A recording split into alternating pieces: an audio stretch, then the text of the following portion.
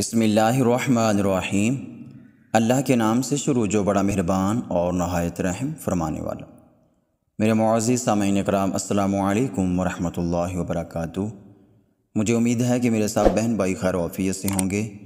हमारी दुआ है, जहाँ भी रहें, खुश रहें, शाद आबाद रहें और सलामत रहें। हमारी आज की वीडियो आयतुल कुर्सी की फजीलत के हवाला से है। ज़रूर समात फरमाएँ इन बहुत ही फ़ायदा होगा। अमीरमिन हज़रत मौला अली शेर खुदा रदी अल्लाह तु फरमाते हैं, मैंने हजूर सलाम को मंबर पर फरमाते हुए सुना, जो शख्स हर नमाज़ के बाद आयतुल कुर्सी पढ़े उसे जन्नत में दाखिल होने से मौत के सिवा कोई चीज़ नहीं रोकती, और जो कोई रात को सोते वक़्त आयतुल कुर्सी पढ़ेगा अल्लाह ताला उसे उसके घर को और आस पास के घरों को महफूज फरमा देगा। मेरे प्यारे सामाइन, हर नमाज़ के बाद आयतुल कुर्सी को एक दफ़ा ज़रूर पढ़ लिया करें और सोने से कबल पढ़ लिया करें इन ताला।